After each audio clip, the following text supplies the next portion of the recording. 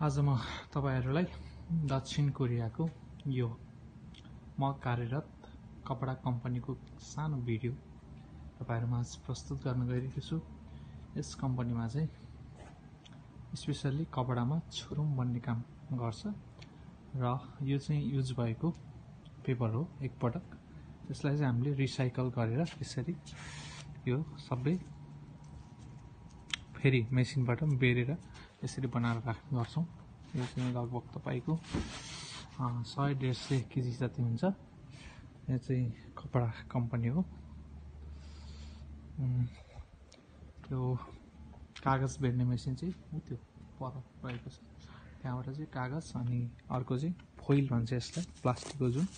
यो पनि फेरि रिसाइकल गर्नको लागि यहाँनिर बेर्नलाई राखिरहेका छौँ। यो चाहिँ जति पनि छ यो सबै मैले यो रिसाइकल गरेको पेपरहरू परदेखि लिएर सबै यस्तै कम्पनी मेरो यो चाहिँ कपडा चाहिँ यहाँ धेरै किसिमको छ तपाईँको।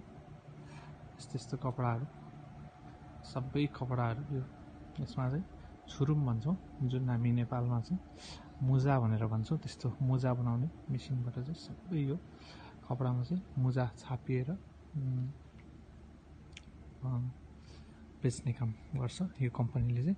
यसरी कपडाहरू चाहिँ एकदमै धेरै। यहाँ चाहिँ कपडा तपाईँको एकदमै धेरै रहेको छ। यहाँ हेर्न सक्नुहुन्छ तपाईँहरू यो सबै यो चाहिँ सब यहाँ चाहिँ विभिन्न प्रकारका कपडाहरू छन्। सबै कपडा यहाँ चाहिँ लगभग यो पुरै एरिया नै कपडै कपडा छ। यहाँ चाहिँ काम पनि भइरहेको थियो।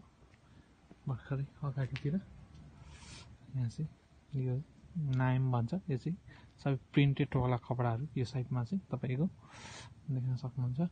यो चाहिँ अहिले भर्खरै बेचेर बाँकी रहेको कपडाहरू चाहिँ अहिले मिलाउने काम भइरहेको थियो। अहिले गर्दाखेरि चाहिँ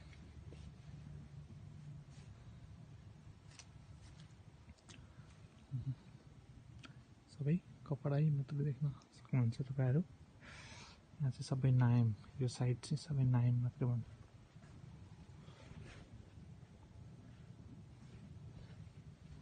थुरक आन खाँचे खास आम। इससे इससे। नेल खायो सबै नायममा अनि यहाँ चाहिँ तपाईँको फेरि फिडी भनेर भन्छ। यहाँ पनि सबै